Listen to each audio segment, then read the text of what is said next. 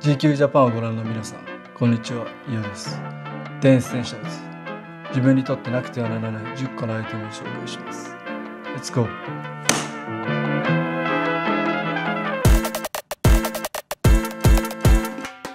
最初に紹介するのは家族です。家族をまあ大事にできないやつはダサいでしょ。俺らいつも言ってるんですけど男として一番当然のこと。というかね。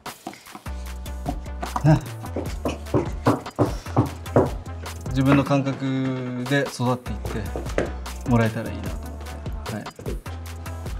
Daddy どんな人だっけうん。ダディの好きなとこ。うーん友達？うん友達そうだって誰友達が好きでさ。 Daddy 友達好きだね。多分その自分がこう仲間とかといるところにも連れてくしだからそういうのをこう見て自分のこう将来大きくなった時に友達が仲間ができた時にこう大切にできるような子になってほしいなと思います。この前そのライブした時に連れてったりとかでこうほんとみんなの子供みたいな感じで接してくれるんで。結構、うん、なんかそういう環境を早くから見れるのはすごいいいことかなと思ってなるべくこう連れてって父親が何してるのかっていうのをこう見せた方がいいかなと思ってでこの前もライブの袖まず連れてきてたんですけどまあなんかいけそうだったんで出したっていう感じです帰りラップしてました車の中で。 Daddy のこと好き？好き。好き。大好き。チュ次に紹介するのはフォースワンです。2 3 0足ぐらいは買ってると思うんですけど人生で一番履いてる靴だと思います。この何も足せないし何も引けないっていう完成されたこのデザインがすごい好きで。自分もこうデザインはあのアートワークとかするんですけどいろんなものを足してかっこよくするっていうのはそんなにこう難しいことじゃないんですけどシンプルなものほど難しいしそれが一番かっこいいと思ってるんでそれで言うともうそれの究極がエアフォースワン。アートだと思います。ラッパーにとっては本当ユニフォームみたいなもんだと思うしこれを履いてないラッパーは俺信用しないですね。僕は基本的にはずっともう白のロー。若い時はミッドとかも履いてたけどホワイトのローが一番こう何のスタイルにも合うし KANDYTOWN のミュージックビデオでも放送は全員入ってたんですけどその全員のスタイルに合う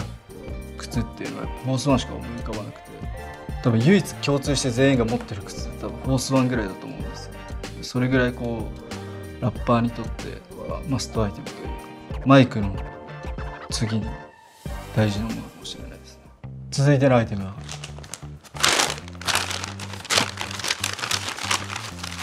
照り焼きバーガー。照り焼きバーガーが一番好きな食べ物と言ってもおかしくないぐらい一番食べてますね。本当に今でも週1週2ぐらいは食べてるぐらい。俺のスタイルはマヨネーズルとスネキサイドはフレンチフライ。コーラ。これは決まり。で調子良かったらナゲット。あとバーベキューソース。これが俺のスタイル。まあでもやっぱ月見とかのシーズンになるとみんな月見とか行くんですけど俺はもうそれはあんまり結構邪道だなって思っててもうスキニーパンツ履いてる JC ぐらい邪道。オートチューン使った JC みたいな。もうああいうの好きじゃない。俺はシンプルに照り焼きバーガー一択。ですね 僕たちはあの北見駅の中のマクドナルド待ち合わせしてなくても誰かしらいるしマクドナルドで出会ったメンバーっていうのもいてあ僕たちが普通に飯食ってたら BMX にまたがった中学生みたいなのがそのままレジこうやって待ってて。その時 BSC がいたんですけど BSC にあいつおかしいよなって聞いたらあれ後輩だねって言っててそれがドニー・ジョイントとの初めての出会いですね。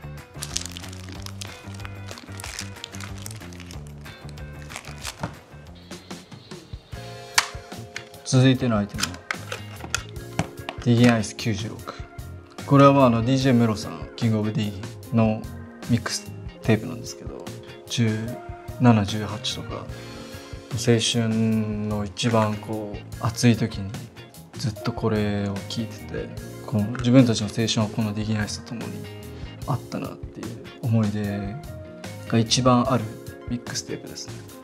これユーシってやつがいたんですけどユーシがいつも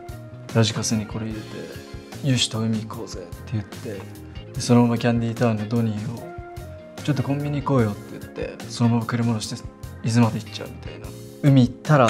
もう音楽かけて自分の中での始まりを思い出す時に結構その光景が出てきててユーシがいつもこうラジカセを持っててもう公園行くにしても渋谷行くにしても電車の中でもずっとどこでもこうラジカセディギアイス入れてもう歩いてるだけでそこがもうクラブみたいになるっていうか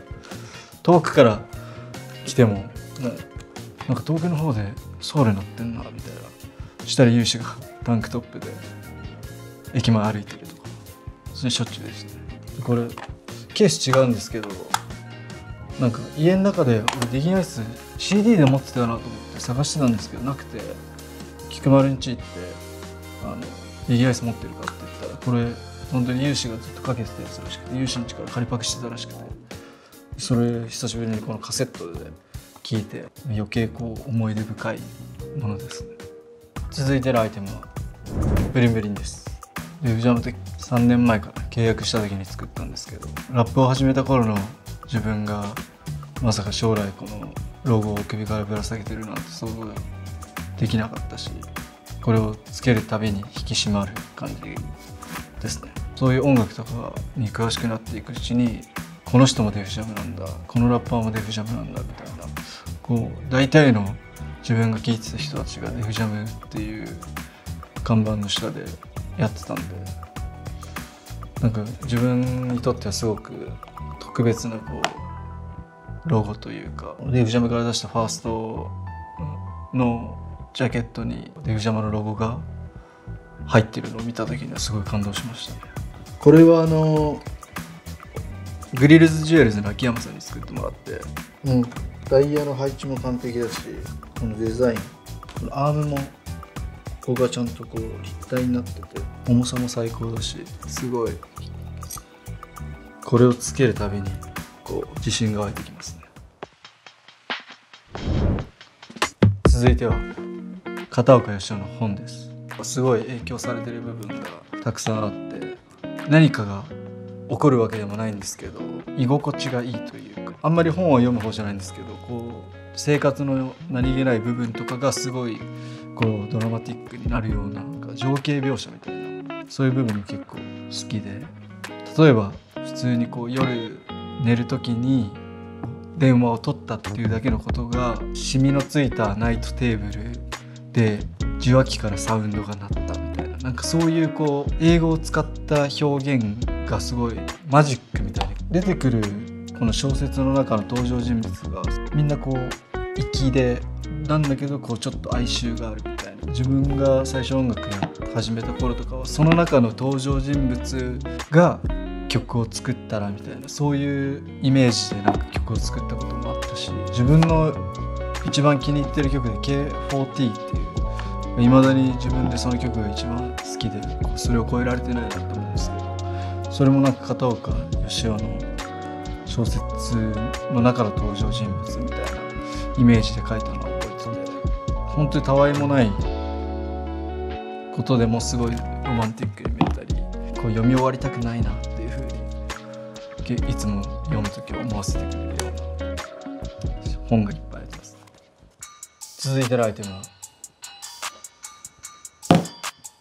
香水です。新宿にジャックポットっていうかっこいい服しか置いてない店があるんですけどそこに何かのタイミングで行った時にたまたま置いてあってすごいいい匂い。でその時キャンディータウンのホーリーキューもいたんですけど同じこれが欲しいって言い出して。じゃんけんして勝った方が買うみたいな感じになってで確か俺が買って買ったんですけどなぜかホーリーキューも買ってでも一緒に会うタイミングがある時俺がつけてくっていうルールになってます。あイーボって言うんですけどこれ横で見るとイオってなるんですよね。こっちかな。っていうところが一番気に入ってます。一応夜出かける時はこれで昼はなんか刑事がイタリアのお土産で買ってきてくれたサンタマリア・ノベーラかなんかのなんかちょっと甘いこう爽やかなやつをいつもつけてるんですけど夜はこのこっちをつけてクラブ行く時とかライブす。る時はいつもこの匂いで共に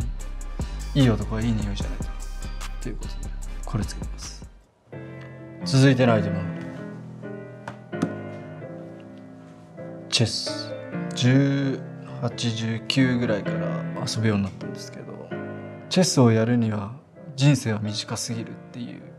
ぐらい結構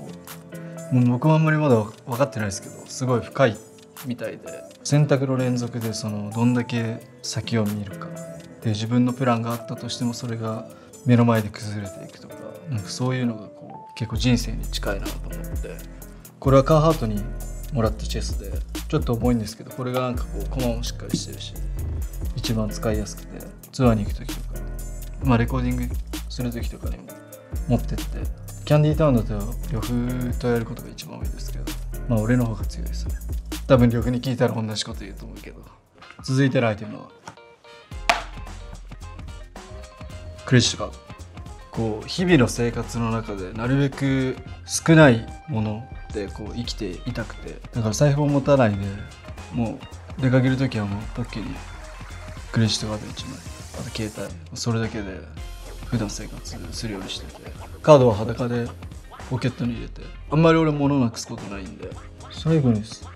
財布持ってたのいつだっけな。でも思い出せないぐらいもう前に財財布は持ってなくて物を所有するっていうのがあんまり好きじゃなくてこうなるべくシンプルにしたいっていう続いてるアイテムはビトンのボストンバッグです。僕が買った最初で最後の多分ビトンのものなんですけど18歳ぐらいの頃かなあの清掃屋でアルバイトしててその時の現場の中で二子玉川の高島屋があったんですよ。裏口からこう入っていろんなところ掃除するんですけど自分もその時はラッパーになるつもりだったんでいつか成功したら表から入ってお客さんとしてここに戻ってきたいなっていうふうにずっと思いながらこう働いてて。でまあラッパーになってこうツアーとか行くようになった時にちょっと時間はかかったけどこう帰るようになってこうお客さんとして高島屋に行って買ったっていうこう自分の中で一つの生産じゃないけどまあ普通のビトンのバッグなんですけど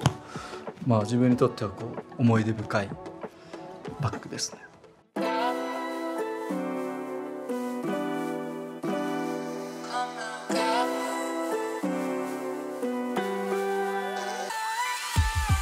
僕の10 Essentials いかがでしたでしょうか？この先進んでいくにあたってまたいろいろ変わりそうだなと思いますけど今の自分の思いが詰まった10個のアイテムでした。